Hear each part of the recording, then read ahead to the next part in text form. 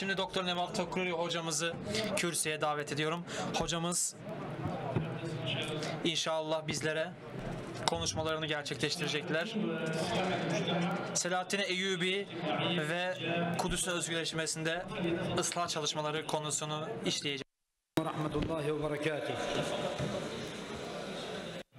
Esselamu Aleyküm ve Rahmetullahi ve Berekatuhu. Bismillahirrahmanirrahim. Alemin Rabbi olan Allah'a hamdolsun. Salat ve selam Resullerin Efendisi Muhammed Mustafa'ya ve kıyamete kadar yolundan gidenleri olsun. İttihadul Ulema Alimler Medresel Birliği kardeşlerimize bu güzel programı düzenledikleri için çok teşekkür ediyoruz. Özellikle de bu başlığı seçtikleri için özel olarak teşekkür ediyoruz. Şüphesiz ki bizim bu hareketimiz ve bu projelerimiz hamaset olmadan ciddi projelerle gerçekleşmesi gerekmektedir.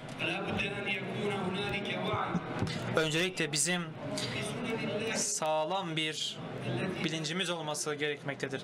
Geçmiş tecrübelere dayanaraktan ciddi bir şekilde hareket etmekteyiz, etmeliyiz.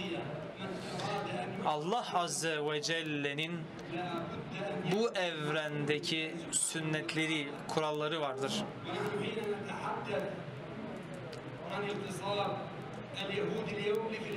Bizler bugün Filistinlilerin, Yahudilerin Filistin'i işgalini konuşuyor oluyorsak bunun aynısı eskiden de yaşanmıştı. Haçlılar tarafından yapılmıştı. Bizler şayet bundan ders almazsak biz de aynı şekilde o zamanki ümmetlerin soru durumuna düşmüş oluruz. Değerli kardeşlerim, bu büyük sorun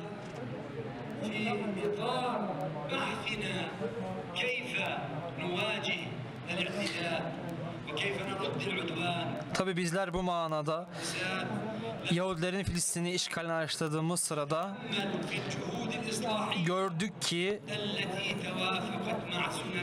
Allah Azze ve Celle'nin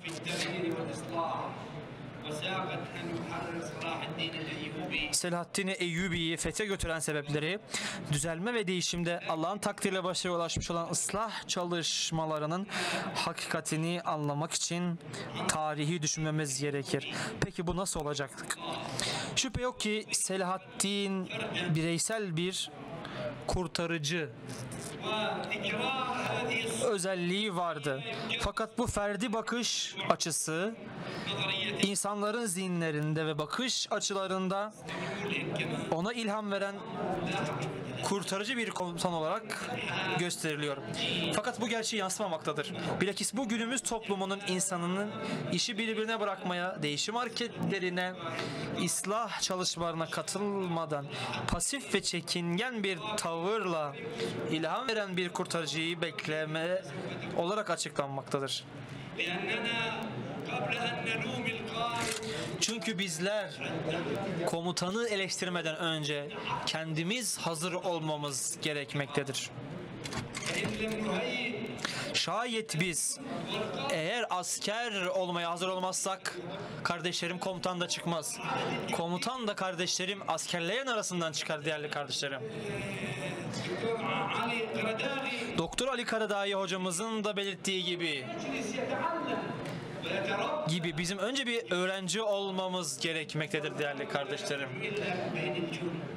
asker olmamız gerekmektedir kardeşlerim. Çünkü şunu biliyoruz ki komutan sadece askerlerin arasından çıkmaktadır değerli kardeşlerim. Bizler o manada kardeşlerim asker olmalıyız ki içerimizden komutan çıksın. Değerli kardeşlerim, size de şunu söylüyorum ki Rabbim bu Yahudi Siyonistleri kahrı perişan eylesin.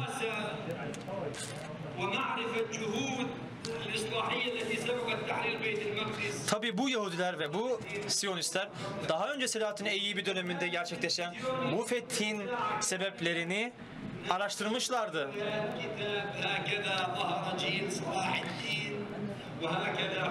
Ve bu daha önce daha önce Doktor Macit El Keylani bir televizyon programında bir saat boyunca tartıştılar ve katılıcılar bu kitabın muhtiyafı talep etme konusunda programa katıldılar. Kitapta yazanların ışığında İslam ümmetinin yeniden doğması tehlikesi ve şerefinin hatırlatılması İslam ruhun yeniden dirilişinin tehlikesi sonucu arkadaşlar. Değerli kardeşler, bu kitabı biliyorsunuz değerli kardeşlerim. Yaklaşık 20 yıl önce bu kitap ortaya çıktı. 20. yüzyılın sonunda bu kitap ortaya çıktı değerli kardeşlerim. Ve bu kitap çıktığı zaman değerli kardeşlerim bir televizyon programında bu kitabı tartıştılar. Değişimin ve ıslahın ayrıntılarına değişecek olursak ve bunun göstergelerine bakacak olursak, İslam toplumundaki bu değişimlerin göstergelerine bakacak olursak, ister bu Haçlı zamanlarında olsun, ister Mescid-i Aksa'nın özgürleştirmesi yılında olsun, döneminde olsun kardeşler bizim bu süreçlerden dersler çıkarmamız gerekmektedir ki bizler de aynı şekilde Kudüs'ü e, e, Kudüs'ü doğru adımlarla tekrardan özgürleştirebilirim değerli kardeşim. Bu manada ben hızlı bir şekilde e, vakamızda göz önünde kardeşler birkaç noktaya temas etmek istiyorum. Birincisi Kudüs'ün özgürleştirdiği toplumu iyi anlamak gerekmektedir. Aynı şekilde Kudüs'ün Haçlılar tarafından işgali dönemindeki toplumu da iyi okumak gerekmektedir değerli kardeşlerim. Öncelikle Haçlıların Kudüs'ü işgal ettiği pozisyondaki İslam toplumunun örnekleri, İslam toplumunun durumu nasıldı? Aynı şekilde o dönemde İslam ümmetinin kalkınma olarak diyebileceğimiz hamleleri nasıl olmuştu? Ulemanın bu noktada e, yönlendirmeleri ve çalışmaları nasıl olmuştu? Değerli kardeşlerim bu konulara inşallah temsil edeceğiz. Kesinlikle Selahaddin Eyyubi'nin sıfatlarına tabi burada değinmek gerekiyor. Selahaddin Eyyubi Hazretleri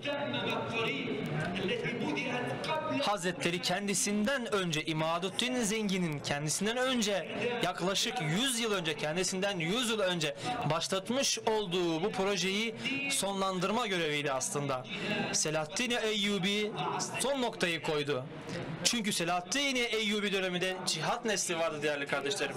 Selahaddin Eyyubi döneminde İmam Gazali'nin yazmış olduğu İhya Ulumuddin kitabı bunun en büyük örneğidir değerli kardeşlerim. İşte bu kitaplarla cihat nesli yetişti kardeşlerim. Ve değerli kardeşlerim cihat ancak cihat nesliyle olur. Kardeşlerim biz aynı sorunları şu an günümüzde de yaşamaktayız. Ve daha sonrasında Şam'daki Abbasilerle Mısır'daki Fatimiler arasında da kardeşlerim yine bir sorun olmaktaydı. Tabi o dönemde Müslümanlar iki devletti kardeşlerim ama şu an biz maalesef 70'ten fazla Müslüman ülkeyiz. Ve şu an içinde bulunmuş olduğumuz durum o günden farklı değildi kardeşlerim. Fakat o dönemde kardeşlerim 3 tane başça Müslüman devlet vardı ve ona rağmen Müslümanlar büyük bir sorun yaşadılar ve şu an bizler kardeşlerim ondan daha fazla 50 farklı devlet içerisinde sorun yaşıyoruz değerli kardeşlerim.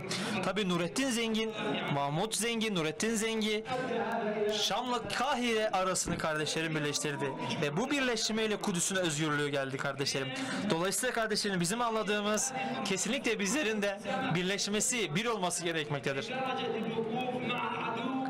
Düşmanlarımızla karşılaşma noktasında kardeşlerim kesinlikle bizler kardeşlerimizle tartışmayı terk etmeliyiz ki düşmana, asli düşmana yönelelim kardeşlerim. İçerisinde bulunmuş olduğumuz fikri ve mezhebi farklılıklar kardeşlerim bizi düşmandan alıkoyuyor maalesef. Ve şu an bizim içerisinde bulunmuş olduğumuz durum o dönemden pek farklı değildi kardeşlerim. Şu an yine bizim içerisinde bulunmuş durumda farklı mezhepler, farklı ırklar, farklı yaklaşımlar bulunmakta kardeşlerim. Şunun bilincinde olmamız gerekmektedir kardeşlerim. İslami kalkınma olması için kardeşlerim vakayı iyi okumamız gerekmektedir. Dördüncü mesele ise kardeşlerim iktisadi, ahlaki olarak içerisinde bulunmuş olduğumuz çöküş var kardeşlerim. Ve bizim şu an bizim İslam ülkeleri diyebileceğimiz ülkelerde bu sorunlar yaşamakta ve bunlar İslam düşmanlarının işine gelmektedir kardeşlerim.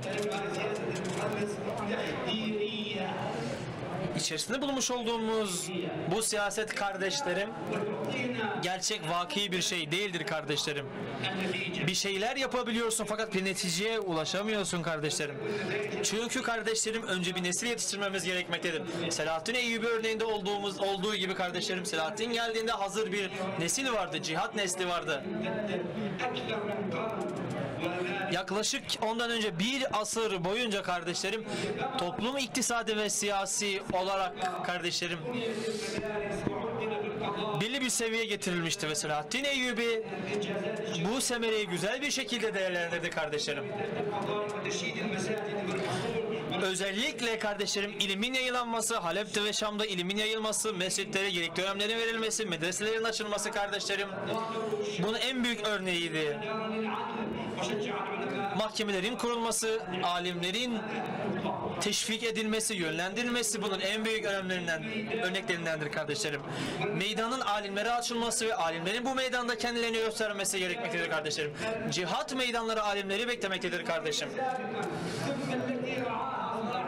Selahattin Eyyubi de kardeşlerim bunu yapmıştır işte. Selahattin Eyyubi'den önce de Nurettin Zeki ve İmalettin Zengi kardeşlerim mezhepsel çatışma içerisine girmediler kardeşlerim. Bilakis onlar mezheplerin taassubi bir şekilde savunmasına karşı durdular. Ve bununla savaştılar kardeşlerim. Kabile kabillere karşı çıkmadılar. Ama kabileciliğe, ırkçılığa karşı çıktılar kardeşlerim. Ve günlerden bir gün kardeşlerim Peygamber Efendimiz sallallahu aleyhi ve sellem de sahabesine bu şekilde yaklaşmıştı. Kabileciliği reddetmemişti. Kabileyi, kabileye te, Musa, kabileye müntesip olmayı reddetmeyip kabileciyi reddetmişti kardeşlerim. İşte bu noktada kardeşlerim bizler de Allah yolunda, cihat yolunda tabii birbirimizi teşvik edip birbirimizle yarışmalıyız kardeşlerim. Bakın en büyük arkadaşlar, Kur'an-ı değerli kardeşlerim, Kur'an-ı Kerim'deki en büyük iki kelimeden bir tanesi şudur. Yarışma noktasında ensar ve muhacir tanımını görüyoruz bir Kur'an'da kardeşlerim. Yani Allah Resulü sallallahu aleyhi ve sellem ashabını ensar ve muhacir olarak ikiye ayırmıştı. Ve ensar ve muhacir arasında kardeşlerim bir hayır yarışı vardı. Ensar ve muhacir bu noktada kardeşlerim bir birileriyle çatışmıyorlardı. Bilakis birbirleriyle hayır yarışı içerisinde değiller. Allah Azze ve Celle Kur'an-ı Kerim'de de ensar ve muhaciri o şekilde zikretmiştir. Değerli kardeşlerim bizler bu noktada kardeşlerim bu noktadan ders almamız gerekmektedir. Aynı şekilde karşı Selahattin Eyyubi kardeşlerimiz dediğimiz gibi muhaddis ve fakih bir kişiliğe sahipti kendisinden. Önceki ulemadan dersleri almıştı. Ve ilim şerbetinden kendisi içmişti. Kendisinden önceki alimlerden istifade etmişti kardeşlerim.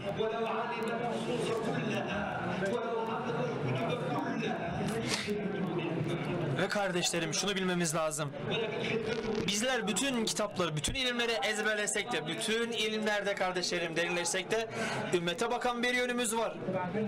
Ümmetin ıslahı noktasında, ümmetin kalkınması noktasında görevimiz var kardeşlerim. Bundan dolayı ümmetle, kardeşlerimizle, halkla beraber olmalıyız kardeşlerim ve Filistin'de içerisinde bulunmuş olduğumuz durum, Şam'ın, Irak'ın, Hicaz'ın içerisinde bulunmuş olduğumuz durum kardeşlerim. Doğrudur belki çok büyük alimlerimiz yoktur fakat mevcut olan ulema kardeşlerim halkla beraber yaşamaktadırlar. Halkla iç içeydiler kardeşlerim. Şahmet Yasin'in en büyük örneğidir. Çok çok büyük bir alim olarak nitelendirilmiş bir şeyi yoktu fakat Şeyh Ahmet Yasin halkla beraberdi. Şeyh Hamdi Bitavi aynı şekilde kardeşlerim. Batı Şeriat'taki Şeyh Ahmet Yasin olarak isimlendirilen Hamdi Bitavi hocamız da bunun bir örneğidir kardeşlerim. Halkla iç içe yaşadılar ve halkla beraberdiler kardeşlerim. Dolayısıyla ulema dediğimiz, alim dediğimiz halkla beraber olur kardeşlerim. İlim kardeşlerim Allah Azze ve Celle tarafından verilendir. Bizim yapmamız gereken halkın sorunlarıyla ilgilenmektir. Mevcut olan ilmimizi halkın sorunlarıyla halkın sorunlarına bakan yönlerini ele almalıyız. Halkla beraber olmalıyız kardeşlerim. Tabi bu noktada kardeşlerim çok da şey yapmak istemiyorum. İlim ehlini şuna davet ediyorum. Diyorum ki ey ilim ehli meydanlar sizi bekliyor. Meydanlar sizi bekliyor. Meydanlar size aittir. Olmanız gereken yer meydanlardır. Tabi bu manada ilmi olarak çok büyük gayretler ve çabalar görmekteyiz. Kardeşlerimize bu noktada teşekkür ediyoruz. Bakın bunun en büyük ayağı da kitap telifidir kardeşlerim. Şunu unutmamalıyız kardeşlerim. Evet kitap telifi fakat her vaka ve her ası her zaman için kardeşlerim kitap ihtiyacı vardır. Evet kardeşlerim. Şu an fıkıh kitaplarında taharet bölümü geçmektedir. Fakat günümüzde kardeşlerim bu durumun farklı yönleri vardır kardeşlerim. Metin içerisinde bulunmuş olduğu yeni meseleler ve yeni sorunlar olmuştur. Bunlara da kardeşlerim telifler ve kitaplar yapmak, bunlara temas etmek gerekmektedir kardeşlerim.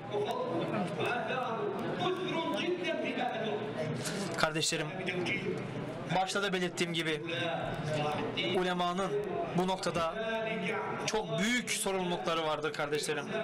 Aynı şekilde kardeşlerim İbn Asakir tarih kitabında kardeşlerim Beytül Makdis'in faziletlerinden bahsetmektedir kardeşlerim.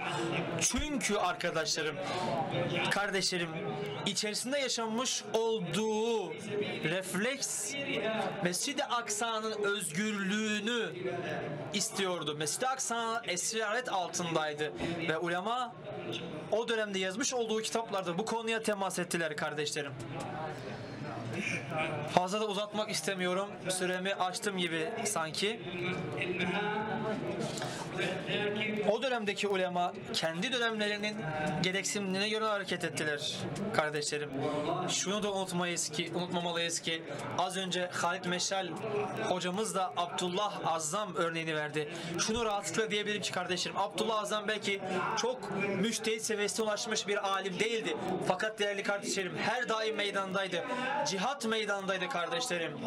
Kardeşlerim şunu rahatlıkla söyleyebilirim ki Abdullah Azzam'ın tesiri kendisinden ve ilminden kat ve kat daha büyüktü kardeşlerim. Çünkü o meydandaydı. Çünkü o halkla beraberdi kardeşlerim.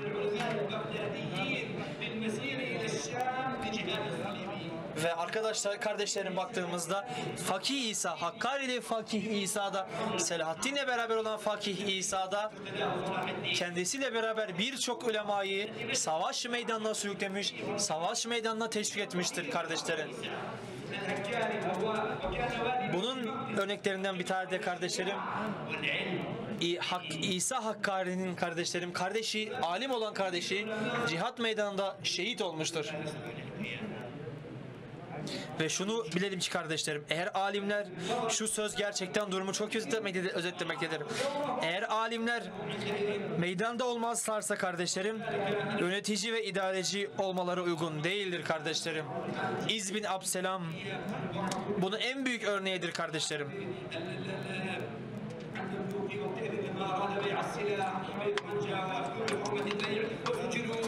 İzmir Abdülselam döneminde kardeşlerim kimi insanların Haçlılara, İslam düşmanlarına silah satmasını öğrenen İzmir Abdülselam buna, arkada, buna kardeşlerim karşı çıkmıştı.